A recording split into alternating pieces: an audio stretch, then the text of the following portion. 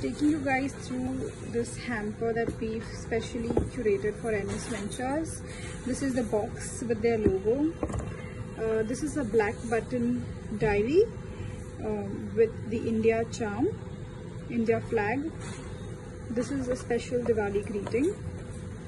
Um, this is a UV multifunctional sterilizer, uh, which again we've personalized for them. This is how it looks like from inside.